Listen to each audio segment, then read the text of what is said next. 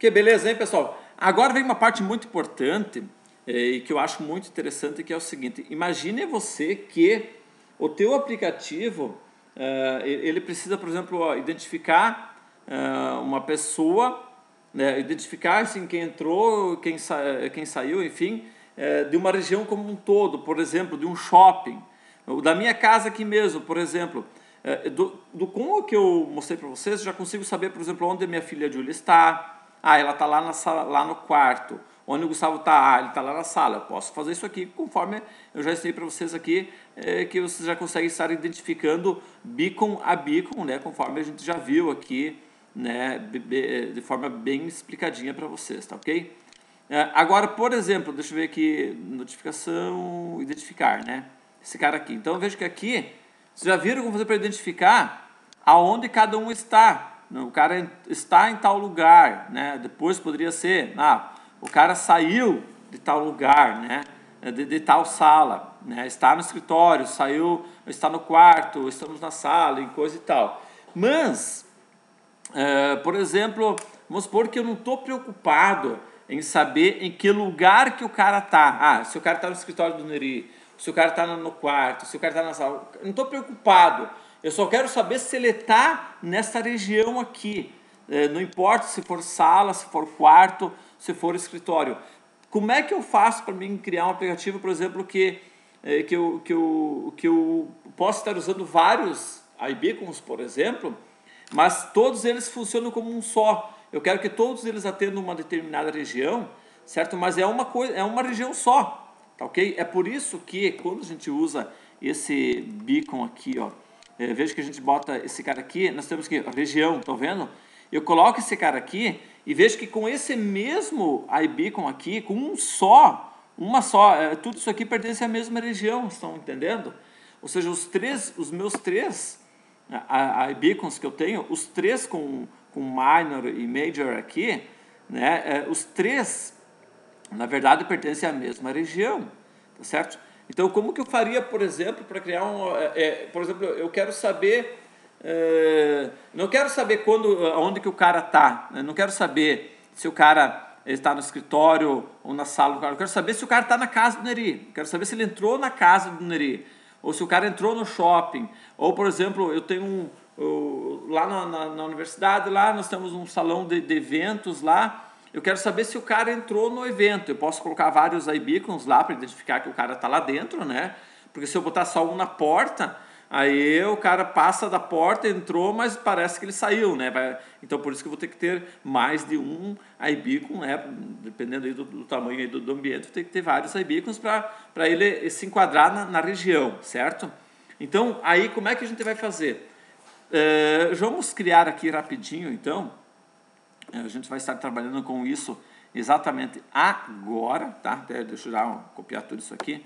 Deixa eu criar aqui um, um, um projeto aqui. Projeto não, vamos só adicionar aqui para ser mais rápido. Aqui um, novo, um novo multi-device aqui. Então, olha só, pessoal, que legal. Então, aqui, esse cara aqui, eu vou mostrar para vocês como fazer para trabalhar com região. Então, aqui, ó, o região.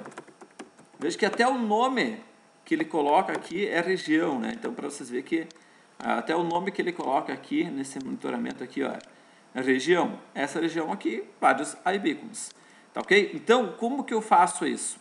É, deixa eu raciocinar aqui, eu queria mostrar, deixa eu já botar aqui no menu principal, proximidade, veja que está tá ficando grande aqui, né?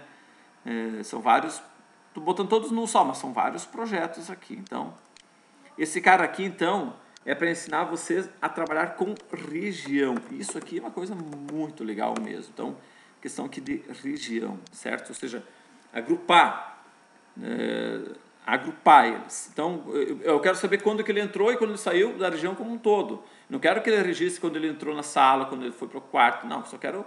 Entrou, está entrado, certo? Quando saiu é porque ele saiu da casa, né? Saiu dos três. Bom, então é o seguinte Uh, ah, isso, quando ele, quando, ele, quando ele, não importa qual que ele vai entrar, entrou na região.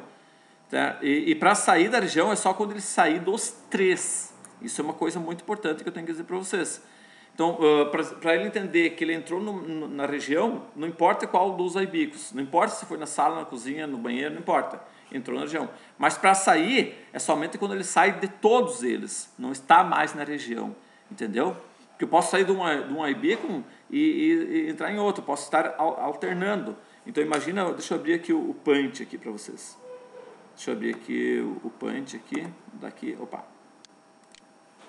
Vamos abrir aqui o punch, punch. Certo? Vou tentar explicar para vocês aqui. Então, imagina que eu tenho, um, eu tenho aqui um iBeacon, certo? Eu tenho aqui um iBeacon, certo? É, na minha casa, é, que está atendendo essa região aqui. Beleza, ok? Aí eu vou ter um outro iBeacon, certo? Lá na, na sala. Esse outro iBeacon aqui, digamos que ele vai atender essa região aqui, certo? Aí eu vou ter um outro iBeacon, certo? Por exemplo, vou ter, um, vou ter um outro iBeacon, eu vou pegar aqui uma cor verde. Vou ter aqui um outro iBeacon, por exemplo, que vai atingir lá uma outra parte da casa, tá certo? Então, ele vai entrar na região em qualquer um desses caras aqui que ele tiver. Ó, por exemplo, vamos supor que ah, o cara está. É, o cara está. Não tenho nenhum cara que é, que é só um pontinho aqui, gente. O cara, o, cara, o cara está aqui, certo? O cara está aqui, exatamente nesse ponto aqui. Bom, então ele entrou na região, certo? Ah, não, mas o cara se movimentou e o cara veio para cá, certo? Ele está numa outra região. Aliás, está na mesma região. Está num outro iBeacon, mas na mesma região. Ah, mas o cara veio para cá. Está em outro iBeacon, mas está na mesma região. Então, só vai registrar uma única entrada. Ah, mas ele veio, ele está aqui, ó. Certo? Aqui está em, em, duas, eh, em dois iBeacons, né? Dois iBeacons conseguem identificar ele. Não tem problema, certo? Mas está na mesma região. Ah, no momento que ele estiver aqui fora, opa, aí então ele saiu. Então ele só vai registrar uma vez, ó, entrou aqui ou aqui ou aqui, em qualquer um desses que ele entrar, entrou na região. Saiu desse cara aqui, mas está aqui, continuou, ó, veio para cá, não saiu da região, ó, não saiu da região, nem mesmo saiu da região, opa, saiu da região, certo?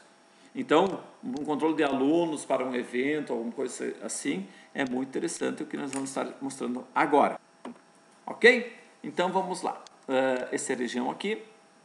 Vamos já vamos, já vamos implementar aqui na região onde é que nós estamos, o região, né?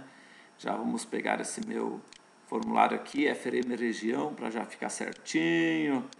FRM região. Então, pessoal, o que, que nós vamos fazer? Vamos salvar esse cara aqui. É, deixa eu pegar aqui o identificação aqui para nós aproveitarmos algumas coisas de código, tá certo? Então, é, só para ficar mais fácil aqui, eu vou copiar esse cara aqui, certo? Ctrl C. E vou colocar esse cara aqui dentro da região aqui, no um Enter, né? Eu vou tirar esse memo lines clear aqui, porque eu quero que ele fique registrando para mim poder estar mostrando para vocês, certo? Passo a passo, né? Tudo que tem. Então, tá aqui então, vou botar aqui, entrou no escritório do Neri, né? Entrou no escritório do Neri. Entrou. Certo? Aqui entrou no quarto, uh, né? Vou botar assim, entrou no quarto.